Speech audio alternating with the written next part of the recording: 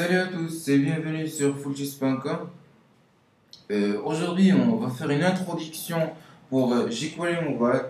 Euh, on va voir comment on peut en créer, comment on peut en créer une page, une page simple, une page euh, basique, euh, comment créer les différents composants d'une page.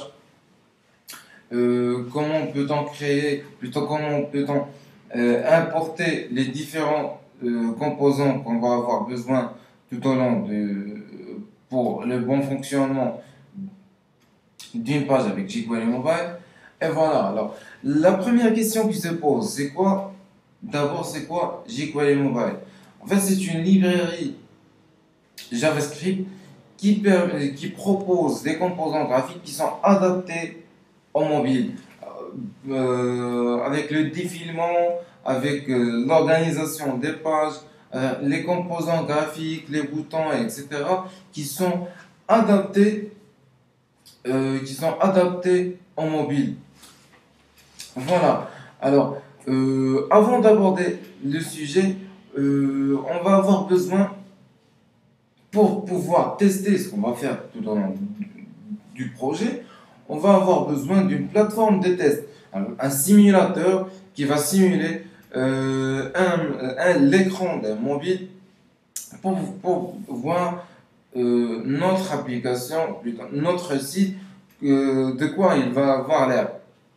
Voilà. Alors, pour, euh, pour, les simulateurs, on a plusieurs choix. Alors, euh, si vous avez la suite Adobe installée, on peut trouver le Adobe Device Center. Euh, Il propose une variété de simulateurs euh, avec, euh, avec pas mal d'options, etc., qui, nous permettent de tester nos applications. Alors, moi, je préfère une solution qui, est plus simple et plus efficace, c'est le, simulateur Ripple de Research in Motion, la fameuse société euh, qui a créé le téléphone BlackBerry. Alors, Ripple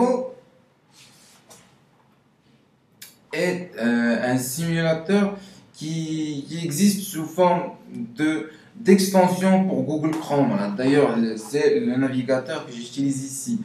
Euh, alors, est- existe sous extension pour Google Chrome, c'est-à-dire on peut l'in- l'installer et l'ajouter directement à notre, euh, notre navigateur. Alors, le voilà, j'ai- je l'ai ici déjà installé, je vais supprimer et je vais le réinstaller pour, euh, pour, vous, pour vous permettre de voir comment, euh, comment ça se fait. Alors, voilà. On va à outils, extension. Alors, on trouve qu'il est dé- déjà installé ici, je vais supprimer.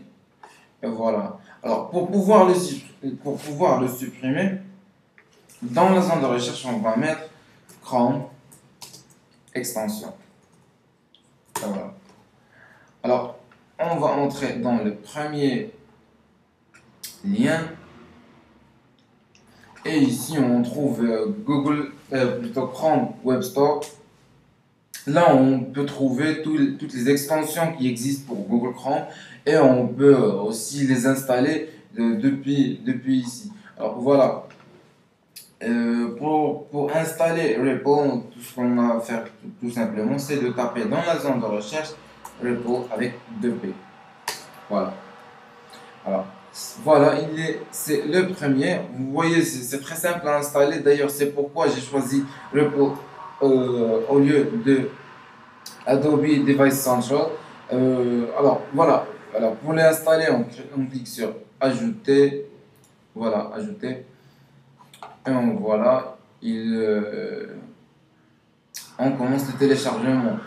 Alors, une, chose supplémentaire euh, dont on va avoir besoin, c'est un serveur web. Pourquoi? Parce que les parce, parce que Ripple, il va nous permettre de voilà, il est installé. Alors, Ripple, il va nous permettre d'ouvrir des pages en spécifiant leur URL.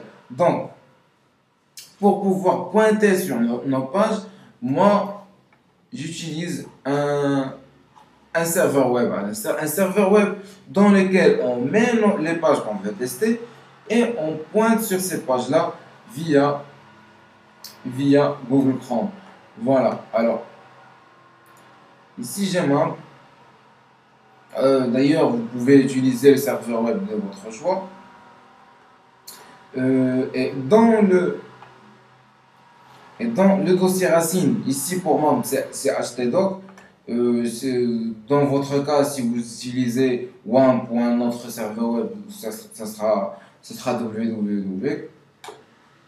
Voilà, j'ouvre le dossier.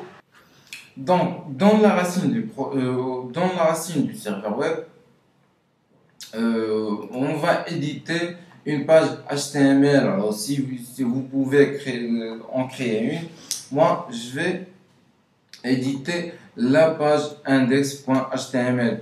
Euh, pour l'éditeur, moi je vais utiliser Xcode. Si, vous, si vous avez Adobe Dreamweaver ou un autre éditeur, vous pouvez euh, utiliser l'éditeur de votre choix. Alors voilà, j'ouvre la page avec Xcode.